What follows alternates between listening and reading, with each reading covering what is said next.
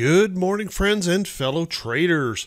This is Doug Campbell with Right Way Options, and this is the morning market preparation video for Friday, January 11th, 2018. So it's Friday. Everyone loves Friday. I know I love Friday. Friday is one of those days that just makes a guy happy because we know we get a little bit of rest, a little bit of break. Yesterday, I mentioned in the market that um, the market needed a little bit of rest, and I still believe the market needs a little bit of rest. But those doggone bulls had another plan in mind. They were very tenacious yesterday, pushing out the fifth straight day up in the market. The first time since that has occurred since September. So, uh, really nice um, uh, fight back by the market yesterday. The bulls um, every time we saw a little bit of push down, and there was some some moments where it looked like profit takers could take over. If we look at a short term chart here on the 15 minute you can see we did have those those pushbacks those times in the in the market where it looked like first we gapped down rallied up and then we saw that pushback coming into the market. But the bulls just would not be denied yesterday pushing that market higher and really tucking us right into this resistance here on uh, the Dow. So right up there tucked into that resistance if we take a look at our moving averages you can see we just barely breached over that 34 exponential moving average and we still obviously have the potential of reaching up here toward that 50 day moving average. So, even though I think the market um, is ready for a rest or pullback, we cannot deny the fact that there may be a push or an attack to move up toward that 50 day moving average in the Dow before they finally take a rest. Who knows? I want to be a little bit cautious uh, about chasing the market this late into into the its rally. We've rallied 2254 points in the Dow in 11 days. That's stretching that rubber band really, really tight. And the opportunity um, certainly exists that profit takers may come in and pull us back. And the other thing that raises just a little bit of question in my mind is is when the market rallies this much, I, I look for a reason why. What, what's changed? And if we take a look out there, uh, certainly one could say there's been progress in the uh, U.S. China trade negotiations, but there has been no resolution. And um, as of this morning, we are now entering our 21st day in uh, our federal government shutdown. And as we head into the weekend, there is no resolution in sight um, on that issue. So, right now, um, not a whole lot has changed. The uncertainty is still spinning out there. So, I'm kind of questioning, you know, why the bulls are so tenacious here with that uncertainty uh, still out there and kind of heading into the risk of the weekend. Now, this morning, we see the futures are just really flat. Um, right now, they're down, as I'm recording this, they're down 22 points but they're basically flat. Nothing, nothing really happening here uh, this morning. Really, really quiet. So we're going to have to be a little bit careful and cautious how we approach the morning. We're going to have to watch carefully to see if those bulls happen to step in and break through that resistance, start heading up there toward that 50-day moving average, we could see a burst of buying if that if that occurs. And at the same time, we'll have to be very watchful for the possibility that some profit taking will come in, and that could accelerate toward uh, the afternoon um, just because of the risk of the weekend. Now, if we can hold off in here, if we can um, rest in this range, and I and I I'm going to go ahead and put this range up a little bit higher. If we can rest in this range and and hold on in here, maybe wander around a little bit, that would be a really good sign for me for the market. A little consolidation, a little calming effect in the volatility of the market.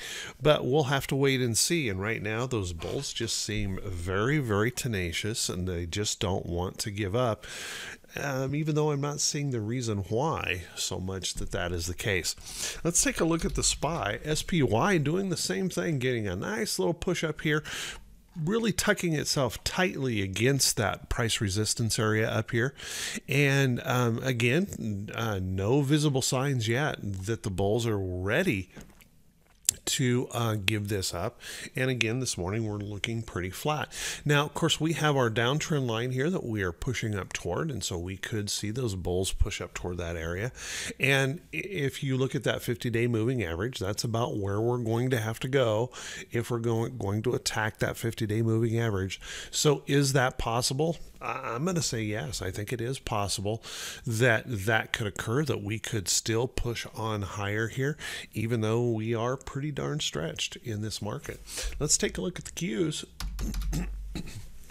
Qs managing to break out of this downtrend line that I put in here and holding right now, holding that as support. That's a good sign, I think, for the market.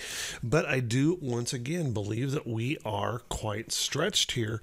Doesn't mean we can't continue to stretch, doesn't mean that um, we can't continue to go up. Obviously, the bulls want to move higher, and so they could be there. I just want to be really, really careful and watchful for that possibility that that rest that pullback could begin at any time.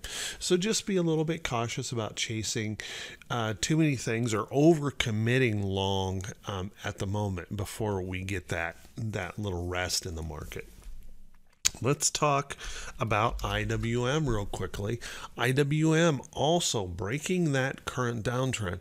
Now, obviously, we have a, a, high up here where we where we broke through that. Could we could we draw this downtrend here? Yes we definitely could. But um, I get more touches to this first line, and so I would like to um, use that area right now for our trend. But you know anything is possible in here. Anything is absolutely possible in here. So we'll want to watch that closely. Again iwm still has a really clear resistance zone right here. And a push up into there um, does not seem unlikely at all pushing up toward that level but keep in mind if we start to pull back we have a nice support level in here as well so just a little bit of range uh, bound um, action would be really nice to get that consolidation that little bit of rest. We'll have to wait and see if that occurs. Once again, those moving averages you can see we're really, really close to pushing that 50 day moving average here on IWM. Just a tremendous recovery um, in this chart. And any rest or pullback or failure at that 50 day moving average uh, does seem possible. Let's take a look at the VIX. VIX once again tried to poke up yesterday, tried to move a little bit higher at one point in time, but those tenacious bulls ended up pushing that back down. Fear uh, continuing to drift out of this market. We're at about a 1950 handle, so below 20 handle here in the VIX. That's a good sign. And once again, I'm going to suggest that there is a little bit of price support in here, and of course, a major price support down in this area. And if we continue to pull back in here, that's a good thing for the market, and obviously, really good thing for those of us that are option traders um, to start reducing that implied volatility um, in those option prices. Um, of course, we want to be watchful if the if profit takers do start coming in, that push back up toward this resistance level. As long as we don't break out of that resistance level, I think we're in pretty good shape uh, going forward here. Let's take a look at T21 22, that four week new high, new low ratio. You know, this is where I have a major concern. As you can see, whoops, I get that on a three day. There we go. There's the daily chart of uh, the um, T2122 we are really stretched up here. We are approaching uh, 100, and as you can see, if I were to uh, mark where we closed yesterday, it is well above any of these price highs through here um, in this stretch. So this stretch has really pulled that rubber band very, very tight.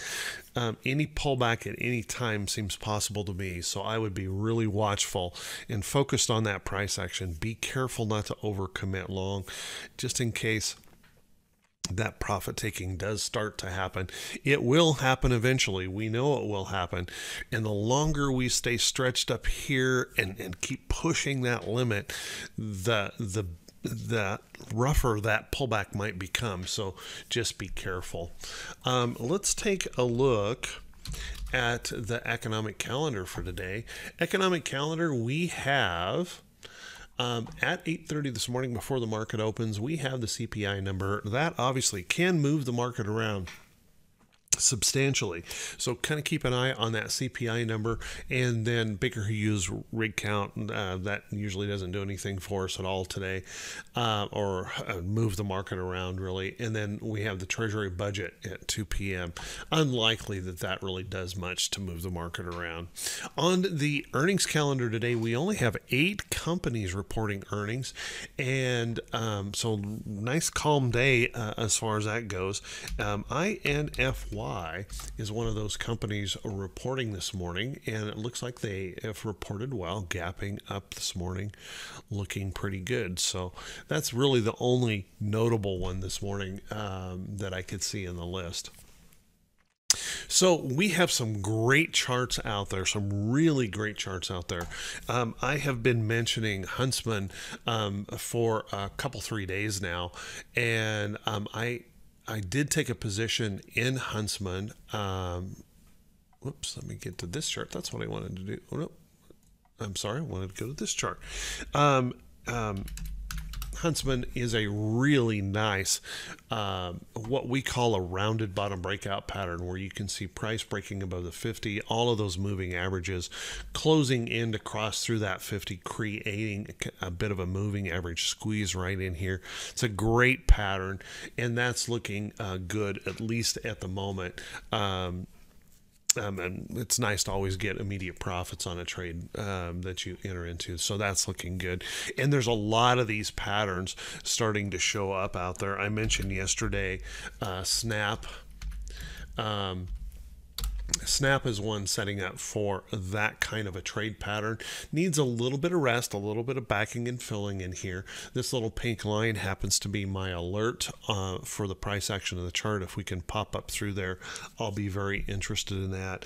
I'm see seeing the same kind of pattern in lots of different places um, out there. There's just really good signs of bottoming action occurring in the market um, all over the place. Uh, stocks like JD looking very good, breaking that downtrend, that nice moving average squeeze in here. Any rest consolidation in here could set up a, um, an entry into JD. Uh, Facebook doing the same kind of thing, breaking higher through that 50. Those moving averages creating that nice level of support in here and showing signs of strength. So lots of good charts to be looking at, lots of good charts to be putting on your watch list and preparing for that next trade. Um, I would be really careful about chasing um, into this um, uh, rally right now, just in case that pullback does start to happen and be careful about the risk of this weekend with the uncertainty still continuing to spin out there. We want to be um, a little bit cautious on loading up too much heading into the weekend in case we get that reaction lower uh, by by next Monday. So be be watchful, but off um, for sure. Be preparing that watch list um, prepping your charts, being prepared for those next trade entries. If we do get rests consolidations, pullbacks in these trades, these could certainly start to set up to look very nice for um, nice swing and even position trades um, in the very near future. So watch that closely. So with that, everyone, hey, I want to wish you all a fantastic day. I want to wish you great profits today. And if this is the first time you've seen these videos, please do me a favor. Click that subscribe button on YouTube. Follow me button on Facebook click those thumbs up buttons and leave a comment. Thank you so much for those who do take the time to do that. It means a lot to me. And I want to say a big thank you to everyone. We just reached over uh, 2,500 subscribers on the YouTube channel um, yesterday. Thank you so much for everyone who participates, supporting this channel, leaving those comments, clicking those thumbs up buttons. That does make a difference. Thank you, thank you, thank you.